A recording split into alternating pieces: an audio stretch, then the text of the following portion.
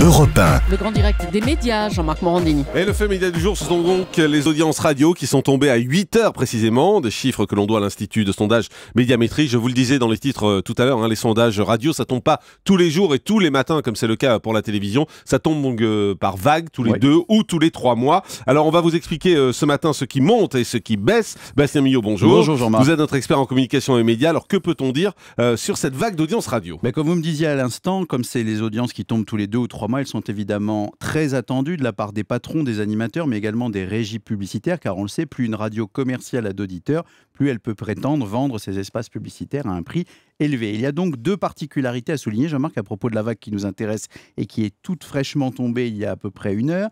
C'est qu'elle est très courte, elle concerne une période qui va du 4 novembre au 29 décembre 2013, donc seuls les mois de novembre et décembre ont été pris en compte. Ça fait 40 jours ouvrés et pendant ces 40 jours, il y avait à la fois le 11 novembre et le pont qui va avec, et puis également les vacances de fin d'année. Donc, quand on est dans des périodes de vacances, c'est d'autant plus difficile de conforter son score parce que euh, en période de vacances, on sait, les Français ont tendance à un peu moins écouter la radio. Et puis, autre point stratégique, c'est que cette vague permet de savoir si les nouvelles grilles qui ont été mises en place à la rentrée fonctionnent et si elles ont séduit les auditeurs. Alors, dans le détail, qu'est-ce qu'on peut noter? D'abord qu'en termes de consommation de la radio en général, on a une stabilité du temps de consommation sur un an. Les Français écoutent la radio à peu près 3 heures par jour en semaine et 2 heures et demie le week-end. Ça n'a pas beaucoup changé depuis un an. En revanche, là où il y a des changements, c'est du côté du fameux top 5 qu'on avait déjà dévoilé à la vague précédente, c'est-à-dire du classement des 5 radios les plus écoutées de France. Donc la première, euh, tout seigneur, tout honneur, c'est Énergie, qui est leader avec une très forte progression. Elle passe de 11,8 à 12,8% d'audience sur un an. Elle conforte sa première place, creuse l'écart avec la deuxième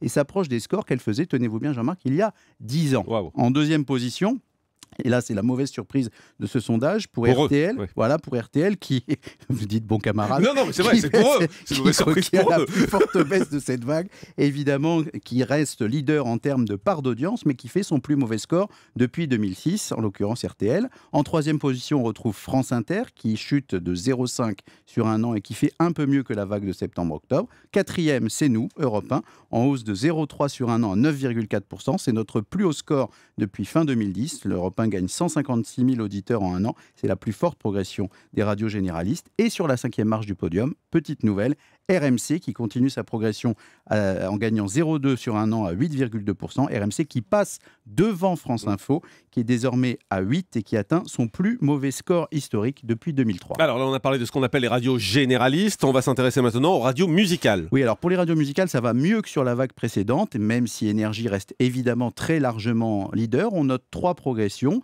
D'abord Fun Radio, qui progresse nettement par rapport à la vague précédente et qui s'installe à la deuxième place des musicales. Ensuite Nostalgie, qui est de nouveau en hausse et qui se stabilise à 5,8%. Et enfin RFM, la station du groupe Lagardère, qui passe de 4,2 à 4,7% d'audience. Notons également qu'en en ce qui concerne Skyrock, la radio des jeunes perd 0,3% sur un an pour se stabiliser à 6,9%. Elle fait quand même mieux qu'en septembre-octobre. Jean-Marc, on le sait, la question du téléchargement se pose toujours pour les radios musicales. Est-ce que les auditeurs les plus jeunes se, se déportent désormais sur les sites de musique en ligne et non plus le réflexe de la radio? Eh bien, c'est ce qu'on observera sur toute l'année pour voir c'est un phénomène durable. J'aime beaucoup quand vous dites Skyrock, la radio des jeunes. hein. Bah On oui, sent je que ça parce pas- que j'ai 41 ans. C'est pas le trop le truc que vous écoutez, le rap, hein. non, j'écoute Europe 1, moi. C'est clair. Un mot sur euh, les chiffres d'Europe 1 plus précisément. D'abord, comment se porte la station? Eh bien, vous en parlerez dans quelques instants avec notre directeur général Fabien Amias en détail. Mais comme le dit très joliment Haute d'Assonville dans Télérama, Europe 1 affronte l'hiver comme elle a traversé l'automne avec le sourire. Vous voyez, comme c'est bien dit, 9,4% d'audience,